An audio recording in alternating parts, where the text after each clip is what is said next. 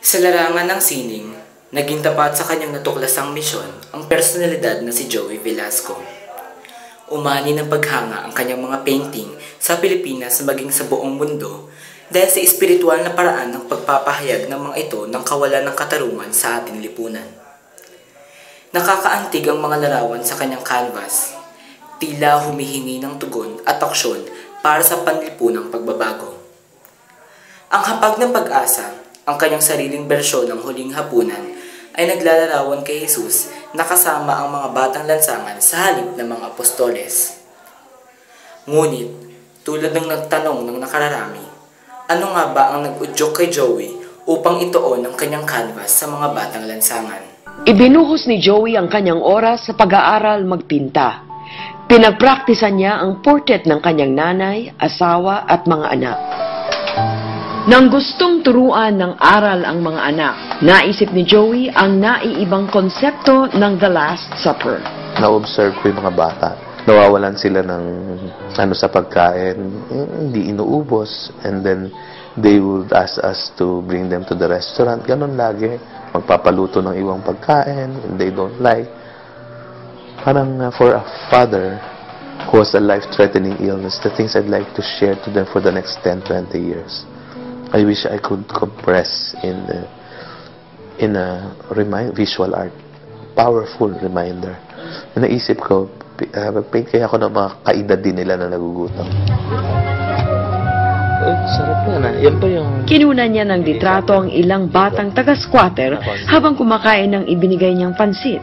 Sila ang naging mga modelo sa painting ni Joey. They didn't know I was a painter. Kala nila politician ako eh. Pumunta ako sa lugar-lugar, biglaan eh. Oh. Oo. So, sinet up mo yung Last Supper. Eh, hindi, wala rin setup. Kung ano yung makita namin, yun ang kinabit. Pati yung gulong, kung ano yung ano. It was all spontaneous, you know. Ma'am Cheche, that was really, para sa akin, among all my paint, eh, talagang grace talaga. Na hindi na yung akong kumi... Ang, ang tanging kilos ko lang doon is to do a painting for my children. Nagkaroon siya ng malaking bukol sa bato o sa kidney noong siya ay 38 taong gulang. Bagamat tagumpay ang kanyang operasyon, nakaramdam siya ng labis na kalungkutan at matinding takot sa muntik niyang pagkamatay. kakagaling lang niya sa parang medyo hindi stable na condition. Tapos baka mag-paint siya. Tapos ma mapintasan ng iba. So kami, very careful kami kung ano yung gagawin niya. Kasi baka mamaya ma-depress siya na, ay, hindi na naman maganda, ganun. Hindi po siya traditional eh. Hindi siya with the disciples, tapos iba. So inaalala naman ng mom ni Joey na baka mamaya ah, ano, magkaroon ng ibang comment or magalit yung Catholic ano sa kanya. Pagkatapos siyang magkulong sa kanyang silid ng matagal upang manalangin at magnilay, nagkaroon ng linaw ang layunin ng kanyang buhay at naging positibo ang kanyang pananaw sa kamatayan. Dito siya nagsimulang magpinta ng mga kamanghamanghang larawan. Naunawaan niya na siya at ang kanyang talento ay instrumento upang maiparating ng Diyos ang kanyang mga mensahe sa mga tao. Tinanggap ni Joey ang misyong imulat ang mga tao sa kanilang kamalian at pagkukulang na sanhi ng kahirapan at inustisya sa bansa sa pamamagitan ng kanyang mga obra maestra. Ipinamalas niya ang pagmamahal at pagkalinga sa mga batang lansangan, lalo na sa mga may sakit sa pag-iisip. Binigyan niya ng bahay sa Gawad Kalinga Village at disenteng pamumuhay ang mga batang lansangan na ginamit niyang modelo sa kanyang pinintang hapag ng pag-asa. Umani ng maraming parangal at gantimpala ang kanyang mga likha at ang kanyang paglilingkod sa bayan. Samantala, pumanaw pa rin si Velasco dahil sa komplikasyon nito sa bato sa edad na 43 noong Hulyo taong 2010 habang patuloy pa rin ang pagtulong sa mga bata. Pag tinitignan daw niya yung mga exhibits niya, sabi niya sa akin, he cannot imagine na ginawa niya yon. Alam niya na yung mga works na yan, hindi yan from him. Ngunit tulad ng sabi ng asawa ni Joey Velasco, kahit na wala na ito ay mananatili pa rin sa kanilang puso't isipan ang alaala ni Joey Velasco bilang kamag-anak at bilang kapamilya.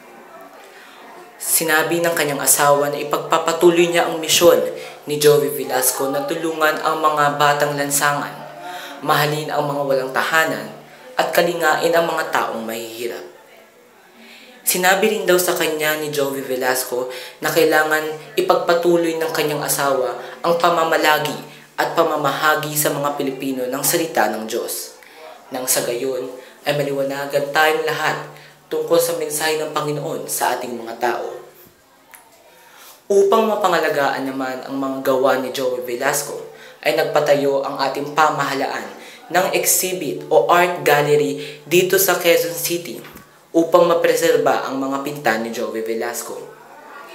At upang mapangalagaan din ang reputasyon at legasiya ni Joey Velasco bilang isa sa pinakamahusay na pintor dito sa bansang Pilipinas. Iyan ang buhay ni Joey Velasco. Naway maging inspirasyon at pag-asa ito sa mga taong katulad niya na may pag-asa sa isang malawakang pagbabago, hindi lamang sa ating lipunan, hindi lamang sa ating bansa, kung hindi maging na rin sa buong mundo tungkol sa ating pananampalataya sa may likha.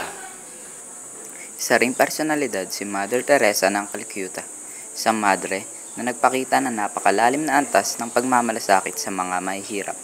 Sobra siya naapektuhan sa nakita niyang kahirapan ng mga tao, lalo na sa mga pulubi na namamatay dahil sa matinding gutom at pagkakasakit sa lansangan.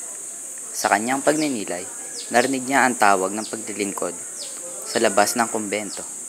Ang tulungan ang mga batang napabayaan, mga taong hindi minahal, at mga may sakit na hindi inalagaan.